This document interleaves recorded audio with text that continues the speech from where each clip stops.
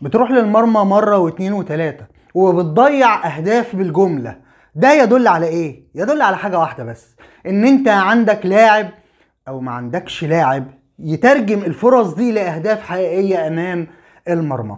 تحياتي لكل إخواتي وأخواتي الأهلاوية في كل مكان. يا رب تكونوا بصحة وبسعادة وفي أمان. أنا هاني الشراوي ودي قناتي قناة الأهلاوية على اليوتيوب.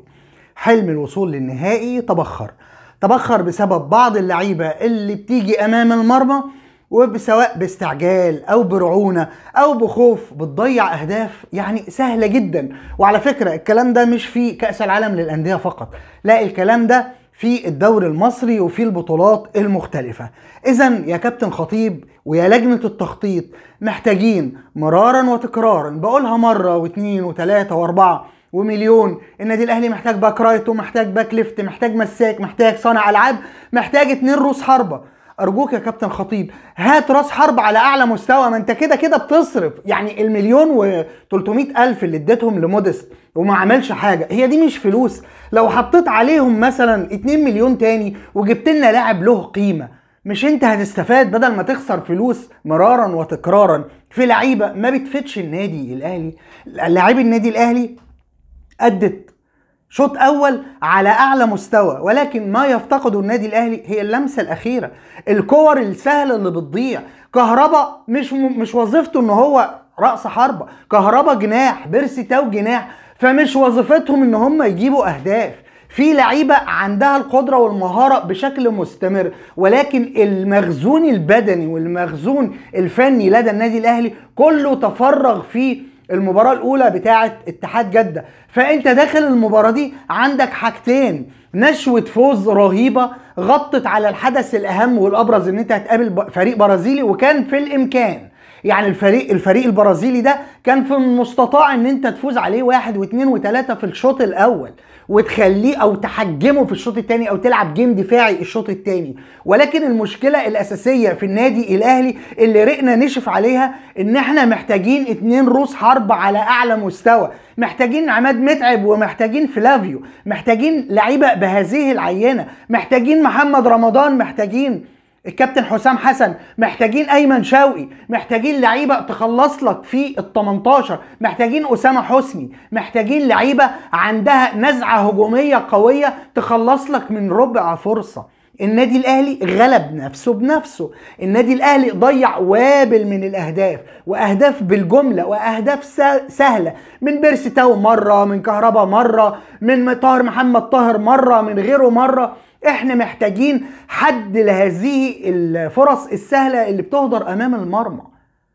النادي الأهلي كانوا ب... يعني أو جماهير النادي الأهلي كانت تمني النفس إن إحنا نكون في المباراة النهائية. تفوز تكسب تخسر تتهزم مش فارقة. خلاص أنت وصلت لمبتغاك إن أنت عايز تحلم إن أنت توصل للنهائي. وأنا قلتها في فيديو سابق ليه في القناة عندنا. قلت قلت إن المركز الثالث صغر على النادي الأهلي والنادي الأهلي كبر على المركز الثالث إحنا بنأمل وطموحاتنا بتروح للنهائي علشان نلعب يا إما على الذهبية يا إما على الفضية. البرونزية ما بقتش من طموحاتنا ولكن خلاص ده قدرنا إن إحنا نلعب على البرونزية. ولكن أنا شايف بعض الأبواق الزملكاوية طالعه تهيص أو طالعه تزيط في الزيطة. يا ابني اتفلع على على المصري اللي لسه كفيك على وشك من يومين. انت بتتكلم في إيه؟ ده إحنا بنلعب في كأس العالم مع فريق برازيلي. ايا كان بقى هو يعني الأعمار بتاعته متفوقة لكن اللعيبة ما كان في الملعب. لكن النادي الأهلي محتاج تصحيح يعني أوراق. النادي الأهلي عنده حاجات لازم يصححها. لازم يجيب غربال كبير ويغربل اللعيبه اللي ملهاش لازمة. في لعيبة كتير لازم تمشي من النادي الأهلي في خلال 15 يوم. خلال يناير القادم لازم لعيبة كتير يتم تصفيتها من النادي الأهلي وتواجدها في النادي الأهلي زي عدمه. فبالتالي لازم فرق يعني لازم اللعيبة اللي بتاخد فلوس وبتقبض شهرية وهي ما تستحقش تمشي من النادي الأهلي. لأن النادي الأهلي مش جمعية تعاونية ولا مؤسسة لرعاية اللعيبة اللي قاعدة على الدكة اللي ما بتعملش حاجة. فالنادي الأهلي محتاج لعيبة كتير لازم تمشي من النادي الأهلي. ولازم يجيب المراكز اللي أنا قلتها لحضراتكم دي. النادي الأهلي محتاج لصانع ألعاب بشكل قوي ومحتاج اتنين روس حربة بشكل قوي. النادي الأهلي محتاج back right و back left ومحتاج مساك. الطلبات دي ليا خمس شهور بصرخ عليها للكابتن خطيب. وبتمنى حضراتكم تعملوا لايكات وشيرات لأي فيديو أنا بنزله لأن في كل فيديو أنا بطلب الطلبات دي ومع ذلك أنتوا بتقصروا معانا في ال like وفي ال share وفي ال comment وكأني أنا بأدن في مالطة مع إنكم أهلاوية ويهمكم صالح النادي الأهلي. Hard luck للنادي الأهلي. عملنا شوط أول جيد جدا بل ممتاز وكانت اللعيبة كلها على أعلى مستوى. ولكن الشوط الثاني فقدنا التركيز فقدنا الحماس فقدنا كل شيء. حتى كولر كان في إدارته للمباراة الشوط الثاني خارج الخدمة تماما. بنتمنى النادي الأهلي يحصل على المركز الثالث وبنتمنى النادي الأهلي في خلال 15 يوم يكون حط إيده على الأوراق اللي ناقصة النادي الأهلي في الفترة القادمة ويتم ال- الاستعانة بيها بشكل كبير. واصرف يا كابتن خطيب أنت كده كده بتصرف على بعض اللعيبة اللي ما تستحقش التواجد في النادي الأهلي.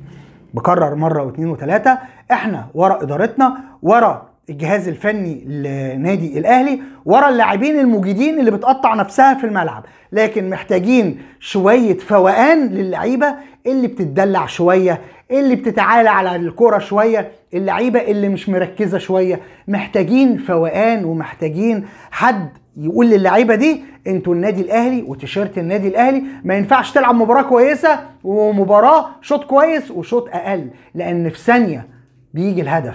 في ثلاث دقايق ممكن تضيع مباراة. النادي الأهلي كان كويس الشوط الثاني عفوا الشوط الأول والفريق البرازيلي كان الأحسن الشوط الثاني وهو اللي استحق الفوز ولكن الفوز كان في متناول النادي الأهلي وإحنا اللي ضيعنا الفوز بإيدينا. بشكركم مرة واثنين وثلاثة وعشرة. أنا آسف جدا للإطالة. بكرر إن بقول هارد لك للاعبي النادي الأهلي وكل جماهير النادي الأهلي خلف إدارتنا وخلف جهازنا الفني وخلف لاعبينا. بشكركم مرة واثنين وثلاثة وعشرة. كان معاكم أخوكم هاني الشرقاوي.